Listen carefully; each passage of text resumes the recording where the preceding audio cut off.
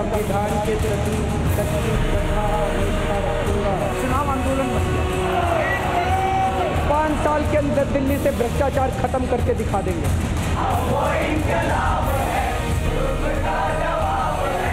हमें one nation one election से क्या लेना देना आम आदमी पार्टी कट्टर ईमानदार पार्टी है कट्टर ईमानदार पार्टी है এক নেতার উত্থান এবং সেই নেতার পতন দেখল গোটা দেশ। এক নেতা প্রমিস করেছিলেন, কথা দিয়েছিলেন, প্রতিশ্রুতি দিয়েছিলেন, দুর্নীতির বিরুদ্ধে সবচেয়ে বড় লড়াই করবেন আজ মদ কেলেঙ্কারিতে সেই নেতা এই মুহূর্তে জেলে রয়েছেন। আজকে গিয়েছিলেন সেই নেতা অরবিন্দ কেজরিওয়াল, দিল্লির মুখ্যমন্ত্রী। হাইকোর্টে জামিন চাইতে। হাইকোর্ট জানিয়ে দিল, না। না, স্যার, না। কোনো জামিন নয় আপনার। আপনার এই মুহূর্তে যে গ্রেফতারি হয়েছে, সেই গ্রেফতারি বহাল থাকবে এবং আপনার বিরুদ্ধে যথেষ্ট প্রমাণ রয়েছে। দিল্লি হাইকোর্ট আরও স্পষ্ট করে দিল যে মুখ্যমন্ত্রিত্ব কোনোভাবে কোনো রক্ষা কবচ নয়।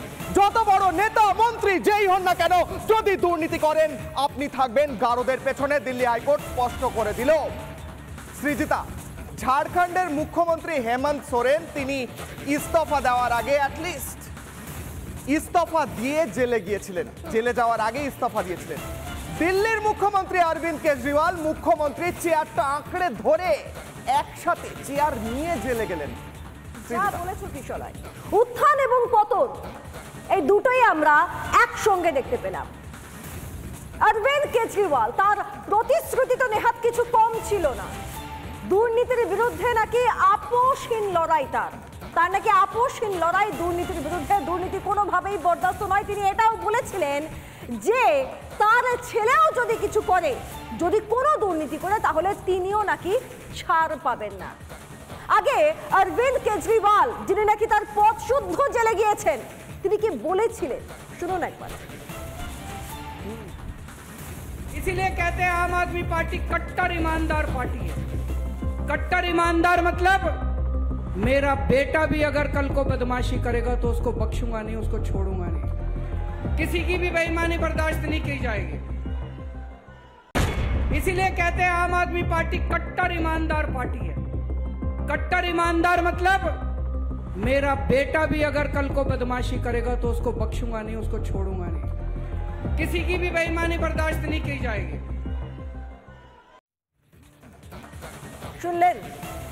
আরে ছেলের কথা বলছিলেন তিনি। আরও এরকম অনেক উদাহরণ দিয়েছিলেন পাঞ্জাবে, দিল্লিতে। এরকম অনেক উদাহরণ দিয়েছেন। কার কার বিরুদ্ধে কি কি ব্যবস্থা নিয়েছেন? একটু নিজের দিকে তাকান। নিজে কি করেছেন? আরে কোর্ট তো কোর্ট তো যাবতীয় উত্তরও দিয়ে দিচ্ছে। জামিনও তো পাচ্ছেন না। তারপরেও এত কথা? কি কিশলায় সৃজিতা, বলছিলেন তিনি নিজের ছেলে দুর্নীতি করলে তাকেও শাস্তি দেবেন, তাকেও দল থেকে তাড়াবেন। এবং তিনি এবং তার দল নাকি কট্টর ইমানদার কট্টর ইমানদার। এমনটাই বলছেন অরবিন্দ কেজরিওয়াল। কিন্তু তিনি কি করলেন? ইডি জানাচ্ছে আদালতে যে তিনি আদালতকে জানিয়েছেন, তিনি ইডিকে জানিয়েছেন যে এই গোটা দুর্নীতির দায় তিনি নাকি ফেলছিলেন আতিশির ঘাড়ে। তিনি কি বলছেন? ইডিকে কি বলেছেন? ইডি জানাচ্ছে আদালতে যে যে দুর্নীতি হয়েছে, সেই দুর্নীতির সমস্ত কিংপিন যারা রয়েছে, সমস্ত অভিযুক্ত যারা রয়েছে তারা সবাই নাকি আতিশির কাছে রিপোর্ট করত কেউ তার কাছে রিপোর্ট করত না এইভাবে দায় ঠেলার চেষ্টা করেছিলেন তিনি কিন্তু আতিশি শুরু থেকে শেষ পর্যন্ত বারবার বাঁচানোর চেষ্টা করেছেন কেজরিওয়ালকে দেখুন Can the ED, after two years, say they have recovered even one rupee from any Aam Aadmi Party leader? They can't. Where is the evidence? Where is the proceeds of crime? And the timing of the arrest makes it very clear.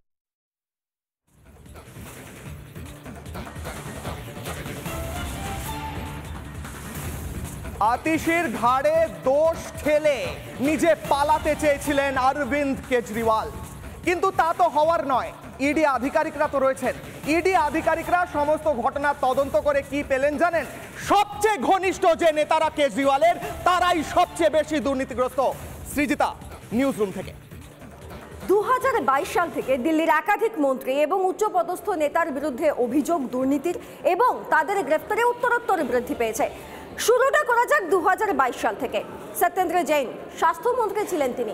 তার বিরুদ্ধে আর্থিক তছরূপের অভিযোগ ছিল। দু হাজার বাইশ সালের মে মাসে গ্রেফতার করা হয় সত্যেন্দ্র জৈনকে। যদিও পরবর্তী সময় বেইল পান তিনি। চলুন চলে আসা যাক দু হাজার তেইশ সালে। দু হাজার তেইশ সালের ফেব্রুয়ারি মাস। গ্রেফতার হন দিল্লির উপমুখ্যমন্ত্রী মনীষ সিসোদিয়া। সিবিআই এর হাতে গ্রেফতার হন এবং আবগারি দুর্নীতি মামলাতেই গ্রেফতার হন মনীষ সিসোদিয়া। তার বিরুদ্ধে একাধিক অভিযোগ ছিল। তিনি সহযোগিতা করেননি তদন্তে। তিনি প্রশ্নের সঠিক জবাব দেননি। প্রামাণ্য নথি থাকলেও তার সঠিক উত্তর তার থেকে পাওয়া যায়নি। গ্রেপ্তার করা হয় মনীষ সিসোদিয়াকে এবং তারপর তার স্থান হয় তিহার জেলে। এখানেই শেষ নয়। যেহেতু এখানে আর্থিক তছরূপেরও একটা বিষয় ছিল, সেই কারণে ইডি এই তদন্তের মধ্যে ইনভলভ হয় এবং পরবর্তী সময় ইডির হাতেও গ্রেফতার হন এই মনীষ সিসোদিয়া। হয়ে গেল, চলে আসুন তেইশ সালেরই অক্টোবর মাসে। অক্টোবর মাসে গ্রেপ্তার করা হয় সঞ্জয় সিং, আরও এক আপ নেতাকে। অভিযোগ কি? সেই আবগারি দুর্নীতি, যদিও পরবর্তী সময় তাকে বেইল দেওয়া হয়। সর্বশেষে আসি দু হাজার চব্বিশ সালের মার্চ মাস এক সন্ধ্যায়। গ্রেফতার হন দিল্লির মুখ্যমন্ত্রী অরবিন্দ কেজরিওয়াল। তাকে নবার তলব করেছিল এটি তিনি হাজিরা দেননি। বারবার এড়িয়েছেন হাজিরা। তার বাড়িতে পৌঁছে যায় কেন্দ্রীয় তদন্তকারী সংস্থা, জিজ্ঞাসাবাদ করা হয় এবং তারপর তাকে গ্রেফতার করা হয়, যদিও তিনি তার মুখ্যমন্ত্রিত্ব ছাড়তে রাজি হননি। তার বাড়ির সামনে একশো চুয়াল্লিশ ধারাও জারি করা হয়। এখানেই শেষ নয় সব থেকে বেশি চাপ তো তার পরে তৈরি হলো, কারণ শেষ পর্যন্ত তিনি যখন ফের আদালতের দ্বারস্থ হলেন, তার গ্রেফতারিকে চ্যালেঞ্জ করে আদালত দিল্লির আদালত স্পষ্টতই জানিয়ে দিল যে এই গ্রেফতারি বৈধ এবং মুখ্যমন্ত্রিত্ব কখনোই ছাড় পাওয়ার কোনো কারণ হতে পারে না। তাহলে এত দুর্নীতি রাখবেন কোথায়? এই দুর্নীতির বিরোধিতাতেই তো পথ চলা শুরু হয়েছিল আন্না হাজারেদের, তারই সঙ্গে কেজরিওয়ালদের। তাই না কিশলয় একদমই সৃজিতা। আসল লড়াইটা দুর্নীতির বিরুদ্ধে শুরু করেছিলেন আন্না হাজারে। তিনি আমরণ অনশনে বসেছিলেন। যতদিন না দুর্নীতি দূর করা যায়, ততদিন তিনি অনশন করবেন। এমনটাই তিনি মঞ্চে বলেছিলেন, কিন্তু সেই মঞ্চে আরও একজন ছিল। মঞ্চের কোনায় বসেছিলেন। একটু একটু করে জায়গা করে নিচ্ছিলেন, হয়তো কোথাও চালাকি করছিলেন। ভাবছিলেন, গোটা মঞ্চটাই একদিন দখল করব এবং পিছনের দরজা দিয়ে কোথাও গিয়ে ক্ষমতা দখল করব। কে সেই ব্যক্তি? অরবিন্দ কেজরিওয়াল। ছিলেন আন্না হাজারের সঙ্গে মঞ্চে, কিন্তু মনে কোথাও যেন ছিল প্রশ্ন উঠছে যে আন্না হাজারেকে সরিয়ে গোটা মঞ্চটা কি আমি দখল করতে পারি না? শুধু দিল্লির মঞ্চ নয়, গোটা দিল্লিটা কি আমি দখল করতে পারি না? তার জন্য কি করতে হবে? মানুষের মনের স্ট্রিং, মানুষের মনের কোথাও গিয়ে একটু বুঝিয়ে দিতে হবে যে আমি ভাই তোমাদেরই লোক। আমি আম আদমি এবং আমি তোমাদের পার্টি করছি। এইটা করতে কোথাও সফল হয়েছিলেন কেজরিওয়াল।